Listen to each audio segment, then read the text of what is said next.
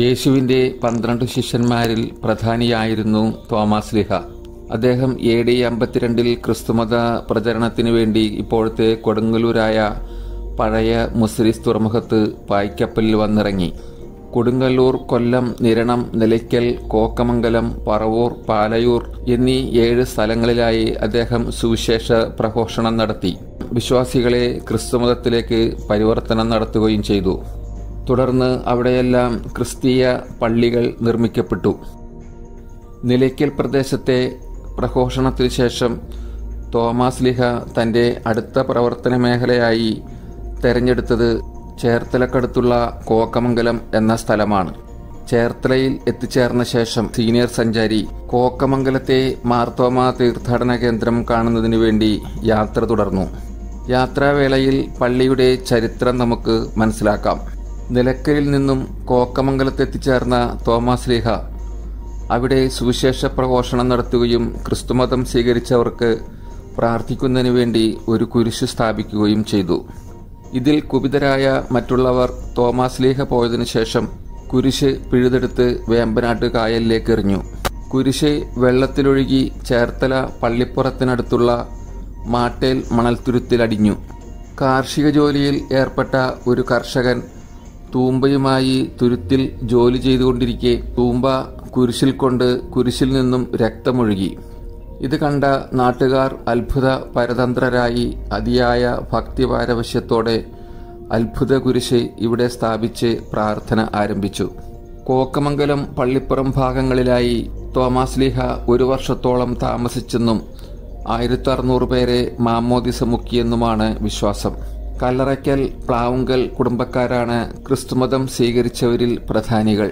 പല കാലഘട്ടങ്ങളിലുള്ള പുനർനിർമ്മാണത്തിലൂടെ ഏറ്റവും നവീനമായ ഒരു പള്ളിയാണ് കോക്കമംഗലത്തെ ഇപ്പോഴത്തെ മാർത്തോമ തീർത്ഥാടന കേന്ദ്രം. ഇങ്ങനെ പള്ളിയുടെ ചരിത്രം മനസ്സിലാക്കി സീനിയർ സഞ്ചാരി കോക്കമംഗലം പള്ളിയുടെ പ്രധാന വീതിയിലേക്ക് എത്തിച്ചേർന്നു.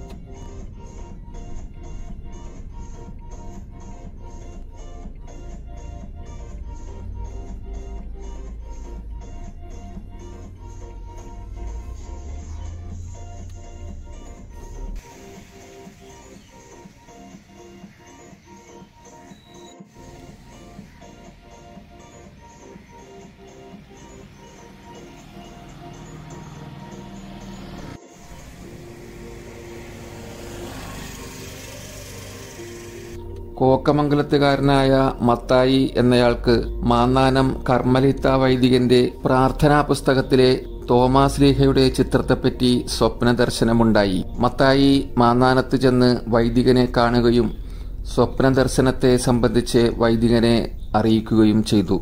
വൈദികന്റെ കൈവശത്തുണ്ടായിരുന്ന ചിത്രം തന്നെയാണ് മത്തായി സ്വപ്നത്തിൽ കണ്ടതെന്ന് അറിഞ്ഞ വൈദികൻ മനോഹരമായ ചിത്രം മത്തായിക്ക് കൊടുത്ത് സന്തോഷപൂർവം യാത്രയാക്കി. മത്തായി കൊണ്ടുവന്ന തോമാസ് ലീഹയുടെ അത്ഭുത ചിത്രം മനോഹരമായ ഒരു ബെസ്കിയിലാക്കി പള്ളിയുടെ കിഴക്കേ ഭിത്തിയിൽ സ്ഥാപിച്ചു.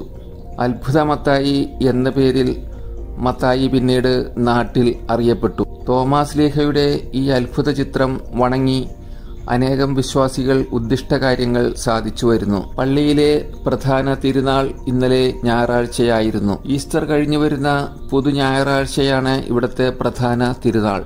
പെരുന്നാളിനോടനുബന്ധിച്ചുള്ള അലങ്കാരങ്ങൾ നീക്കം ചെയ്തിട്ടില്ലാത്ത പ്രധാന വീതിയിലൂടെ ഞാൻ യാത്ര ചെയ്ത് പള്ളിയിൽ എത്തിച്ചേർന്നു. സീനിയർ സഞ്ചാരി സന്ദർശിക്കുന്ന രണ്ടാമത്തെ മാർത്തോമ തീർത്ഥാടന കേന്ദ്രമാണ് കോക്കമംഗലം സെന്റ് തോമസ് ചർച്ച്. പഴയകാല നിർമ്മാണങ്ങളെല്ലാം പൊളിച്ചുകളഞ്ഞ് അതിഗംഭീരമായ ഒരു പുതിയ പള്ളിയാണ് ഇവിടെ നിർമ്മിച്ചിരിക്കുന്നത്. പ്രവേശന കവാടത്തിലൂടെ ഞാൻ അകത്തേക്ക് പ്രവേശിച്ചു. പാർക്കിംഗ് ഗ്രൗണ്ടിൽ കാർ പാർക്ക് ചെയ്ത് പള്ളിക്കാഴ്ചകളിലേക്ക് ഞാൻ നടന്നു. ആദ്യം പള്ളിയുടെ പുറമേയുള്ള കാഴ്ചകൾ കാണാം. പള്ളിയുടെ മുന്നിലായി സെന്റ് തോമസിന്റെ മനോഹരമായ കുരിശടി.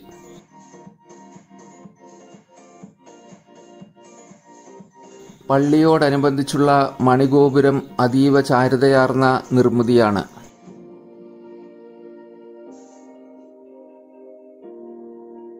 പള്ളിയുടെ മൂന്ന് വശത്തും പ്രവേശന മാർഗങ്ങൾ വിസ്താരമേറിയതാണ്. തെക്കുഭാഗത്ത് കാണുന്ന കെട്ടിടം സെന്റ് തോമസ് കൾച്ചറൽ സെന്ററാണ്. പെരുന്നാൾ കഴിഞ്ഞ് തോരണങ്ങൾ അഴിച്ചുകൊണ്ടിരിക്കുന്നതേയുള്ളൂ. കൾച്ചറൽ സെന്ററിന്റെ വരാന്തയിൽ എഴുന്നള്ളിപ്പിന് ഉപയോഗിച്ച നാല് തേരുകൾ വിശ്രമിക്കുന്നു.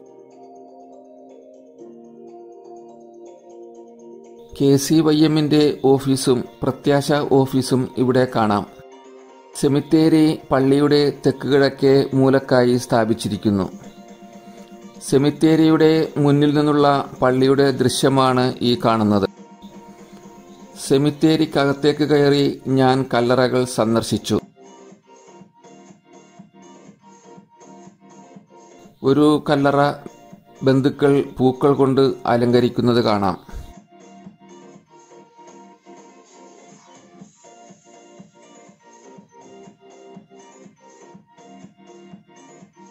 പള്ളിയുടെ കിഴക്ക് വശത്തുള്ള പ്രവേശന വീഥിയാണിത് വേമ്പനാട്ട് കായലിനെ അഭിമുഖമായുള്ള പള്ളിയുടെ മുഖ്യ അങ്കണം.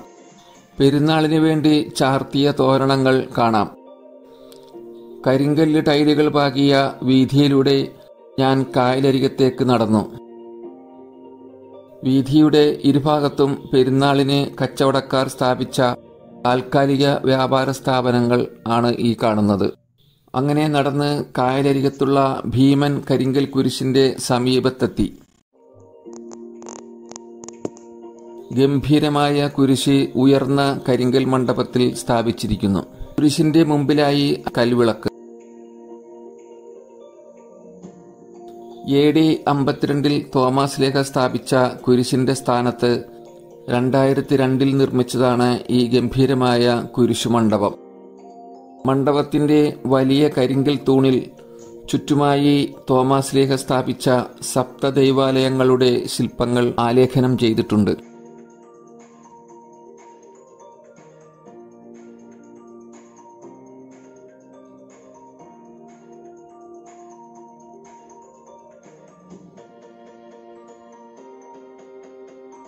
കുരിശാകൃതിയുള്ള കറുത്ത ബോർഡിൽ പ്രാർത്ഥനാ വചനങ്ങൾ ആലേഖനം ചെയ്തിരിക്കുന്നു. പള്ളിയുടെ കായലരികത്ത് നിർമ്മിച്ച മതിലിൽ ചാരി വിശാലമായ കായലിന്റെ വിദൂരതയിലേക്ക് ഞാൻ കണ്ണുപായിച്ചു. കടലിന് സമാനമായ കായലിൽ കുഞ്ഞോളങ്ങൾ തത്തിക്കളിക്കുന്നു. തോമാസ് ലീഗ സ്ഥാപിച്ച കുരിശ് ഈ കായലിലൂടെയാണ് ഒഴുകി നടന്നത്.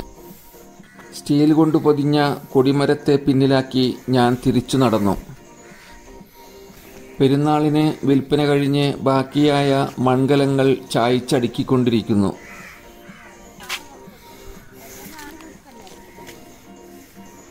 പള്ളി പെരുന്നാളായിരുന്നു. എന്താ വളരെ പഴക്കമുള്ള ഒരു പള്ളിയാണ്. ആ പിന്നെ?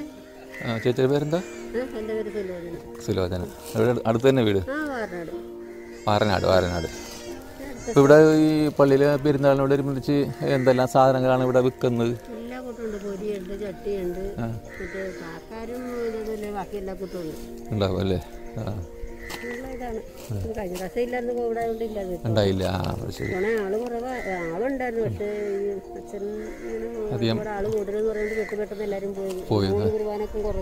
ശരി. ആ ഓക്കെ ഗലീലി തടാകത്തിന്റെ സ്മരണയുണർത്തുന്ന ശില്പങ്ങളും ഇവിടെ അതിമനോഹരമായി ചിത്രീകരിച്ചിരിക്കുന്നു.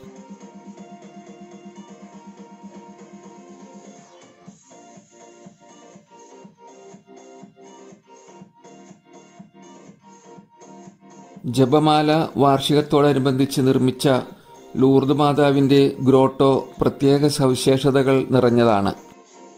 പുറംകാഴ്ചകൾക്ക് ശേഷം ഞാൻ പള്ളിക്കകത്തേക്ക് പ്രവേശിച്ചു.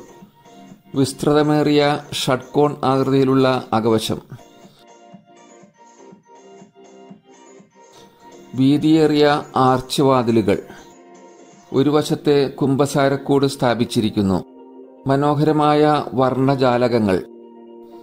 യേശുക്രിസ്തുവിന്റെ ശിഷ്യരുടെ ഗ്ലാസ് പെയിന്റിങ്ങുകൾ കാണാം. അൾത്താരയിൽ മധ്യത്തിലായി യേശുദേവന്റെ ക്രൂശിത രൂപം.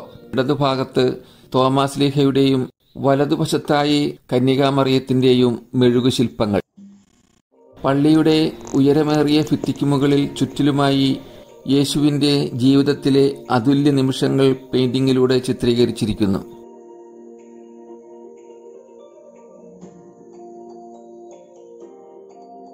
അൾത്താരയുടെ വലതുഭാഗത്ത് മാമോദിസ തൊട്ടി. എ ഡി രണ്ടായിരത്തിൽ മാർപ്പാപ്പയുടെ ഭാരത സന്ദർശന വേളയിൽ ഇറ്റലിയിൽ നിന്നും കൊണ്ടുവന്ന തോമസ് ലീഹയുടെ തിരുശേഷിപ്പ് അൾത്താരയുടെ ഇടതുഭാഗത്ത് സ്ഥാപിച്ചിട്ടുണ്ട്. രണ്ടായിരത്തി രണ്ടിൽ ഈ പള്ളി ഒരു തീർത്ഥാടന ടൂറിസ്റ്റ് കേന്ദ്രമാക്കി കേരള സർക്കാർ പ്രഖ്യാപിച്ചു. അതിമനോഹരമായ ആർച്ച് ഡോറുകൾ കടന്ന് ഞാൻ പുറത്തേക്കിറങ്ങി. പള്ളിക്ക് വലത്തുവച്ച് നടന്നപ്പോൾ പള്ളിയുടെ പുറകിലായി പള്ളിവികാരിയുടെ ഓഫീസും മേടയും കാണാം.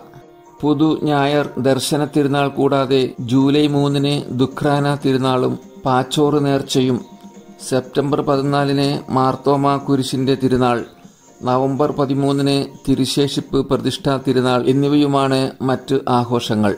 നിയോഗ കുർബാന നൊവേന മട്ടം എഴുന്നള്ളിക്കൽ വിളക്കിൽ എണ്ണ പകരൽ എന്നിവയാണ് പ്രത്യേക ഭക്താനുഷ്ഠാനങ്ങൾ.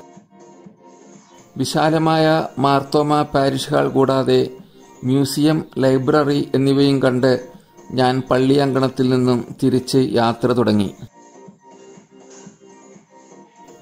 മെയിൻ റോഡിലേക്ക് പ്രവേശിച്ച് കാർ നിർത്തി റോഡിന് ഓപ്പോസിറ്റ് ഭാഗത്തുള്ള ചാപ്പൽ കാണുന്നതിന് അകത്തു പ്രവേശിച്ചു.